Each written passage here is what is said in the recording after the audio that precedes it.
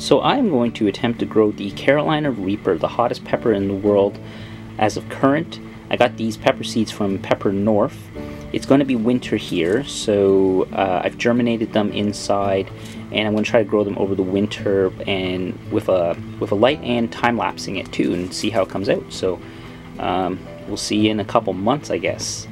But uh, before that, I germinated the seeds over here using um, the top of the boiler because it's the warmest spot that is consistent. So I got it on top of my hot water boiler and they're uh, starting to germinate. So I'm going to plant them now. Okay, got them out of the package here. Let's just, I did the paper towel method. Soaked them in paper towel, put them in a Ziploc bag. And there they are here. Next I'm going to plant them and then uh, transfer them over to transfer them over to some soil and let them grow. So yeah, these look okay. There's a few uh, few germinated, had pretty good success rate. This guy here looks the healthiest, so I'll probably put this in the biggest pot. That I'll be time lapsing. Alright, so what I've done is I've cut out the paper towel so that way it wouldn't damage the roots and then I'm going to transfer it over to my pot of soil with my light and start growing. This is probably the longest video I've ever done. I've been time-lapsing the growing of this Carolina Reaper pepper plant for uh, five months so far. Um, but it's starting to flower. So I got some flowers going on right here. Check that out. That's pretty sweet. Just growing it all off of this one light bulb one daytime LED 9 watt light bulb and it's done really really well. I am surprised at how well it's been doing. I got my GoPro here, I'm time lapsing the whole thing and I'm going to pollinate it now using a Q-tip and I'm just going to take some of the pollen from one flower to the other one and just kind of move it back and forth. Um, just hopefully I can get some viable fruit out of this.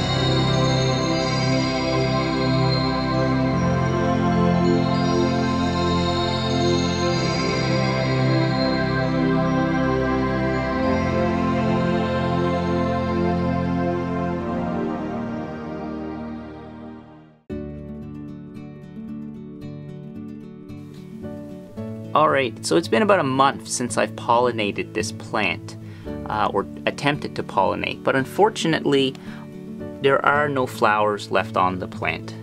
It was unsuccessful, for whatever reason the pollination didn't take. Um, I had so many flowers on this, but at the time I had to hand pollinate this because it was too cold outside to put it outside for it to grow and to see if any bees would come pollinate because there were no bees around at the time because it was just far too cold. Uh, so it didn't take. Uh, it is getting nicer out now. Um, still frost at night at, at, times, so I'm going to put this out in a few weeks and hopefully it'll reflower according to uh, what I've read and a friend of mine who grows plants. Uh, this should reflower um, and I'll repost another video if I'm able to get any viable fruit off this. This was a really fun video to do, really challenging at the same time because there's just so many files that I ended up with um, after time-lapsing this plant. So, that is it. I'm gonna call this video done for now. Alright, thanks for watching. Until next time, bye.